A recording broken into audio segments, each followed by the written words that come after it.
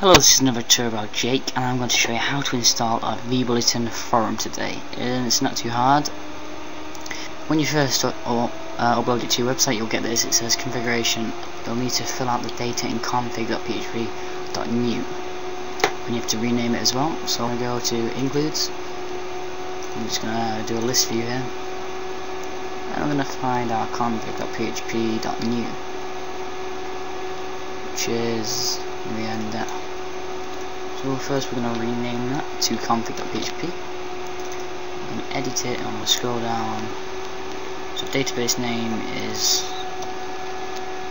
VB YouTube install. And our password is, I'm just going to blow this out here. And that's our password.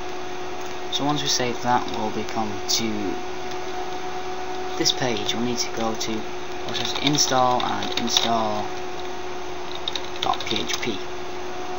Okay, once you do that, you'll be asked to um, put in your customer number. I just find mine here. I will blur it out again because I don't want anyone getting my customer number, really. Uh, vBulletin. Alright. So once we've got that, we're going to insert it there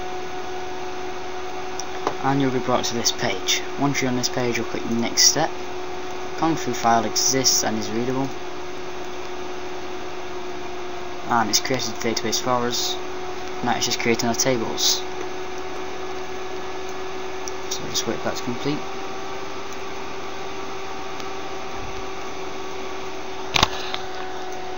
Okay, once that's done, we'll go to the next step, uh, create some more stuff. It's basically all you're doing on this one, you're just creating a lot of things into your phone. It's really simple, you just go next. Okay, this is 9. Step. Ah, this is step. Ah, this is step 9. Okay, so this is our forums. Uh, this is where it's all installed. Yes, it's fine.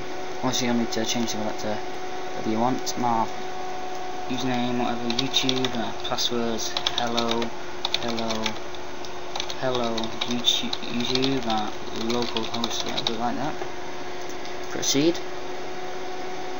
Administrator added, and there you go. And then you simply need to delete this. You need to go into your, just find your install folder.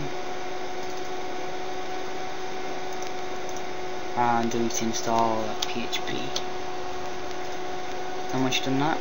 You can go to AdminCP, you can log in there or you can get straight from home